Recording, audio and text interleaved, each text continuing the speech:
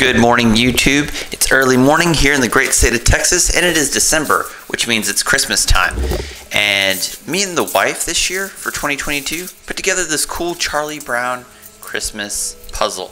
Took us a couple of days to finish uh, between work and everything, and decided, you know what would be a cool memento if we just, you know, if I took it, framed it up, and put epoxy on it. And judging by the title, it is not a good idea to put epoxy on cardboard.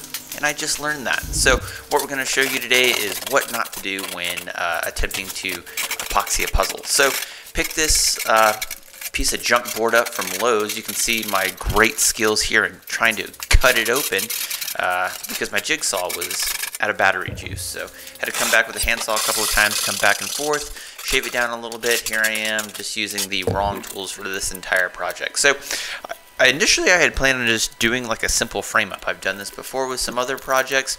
Take some 15 minute epoxy, frame it up, get to the size that you want it, uh, and then just glue everything down, put some clamps on it.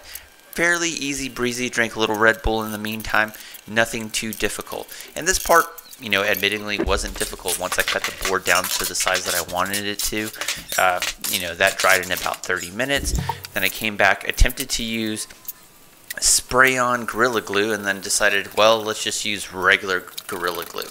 And that was going to keep the puzzle from floating because obviously when you're doing these frame ups, uh, it's going to create a little bit of a uh, it's going to create a little bit of a situation where it floats. And here you can see me trying to drag the puzzle on there. That was a mistake. So a lot of mistakes on this project uh, already. So broke the puzzle a couple of times, had to go back re get everything back to where it was and now we're just framing up everything where I wanted it to be. And I had ruined the puzzle initially when I slid it onto the board. So you can see here the frame up initially was good, but I didn't I wasn't able to move or slide the puzzle further down, so I just had to go with what I had. So this is what the frame up looked like. Let the glue dry. Everything is attached. So, okay, you know, a little bit of problems, not a big deal. There's the epoxy in the background warming up in the sun because you got to warm up the epoxy before you use it. Remember that. And it's, you know, December in Texas, which is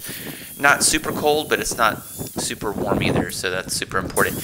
And yes, I understand. My hands were a little bit too close to the saw blade, but sometimes you just got to do what you got to do, and eventually it's going to get my fingers. So here we are, taking some East Coast resin, pouring that on the puzzle piece, and immediately I knew that I had made a mistake. Here I am taking just a regular foam brush, trying to spread it around, and obviously it's all oblong. Here I am trying to take the bubbles out of it, which was another different issue that I had. I literally, for like two hours, took the torch and just came and sprayed out all those bubbles. I assume there were large air pockets underneath the actual puzzle itself. And you can see here we missed some particular spots. It's a little uneven. It's a lot uneven. But once I realized what the epoxy did and soaked into the puzzle pieces, making these, you know, dark splotches here, I just realized, you know, it's not salvageable. So just a lot of problems overall. And I knew this because I've worked with epoxy for like four years now, and I should have known that it was going to seep into the resin and just cause this kind of you know distortion to it. If you pull away or zoom in at certain angles, you can kind of tell it looks a little bit better, but just does not go well. So trying to salvage it, took my little uh, uh, wood burning kit and just gonna write Christmas on it 2022. So in spite of this being a failure, we show failure on this channel. This is a project, this is a video on what not to do. So don't do this. Don't pour epoxy directly onto your cardboard puzzle pieces because it will not turn out how you think it will. But we're going to keep this. We'll keep this in the house. It's just a memento. We'll take it out every Christmas from now on, hang it somewhere.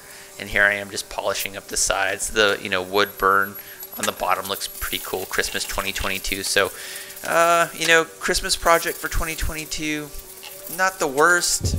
The puzzle was probably the highlight, but hey, be careful if you're going to use epoxy and uh, pour it onto a puzzle.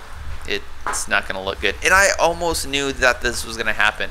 I had an inkling, but I guess I should have gone with my gut on this one. But uh, next week we're going to do another Christmas project, so hopefully that goes a little bit better. But uh, hope everybody's having a good holiday, and I'll see you guys in the next one. All right, peace.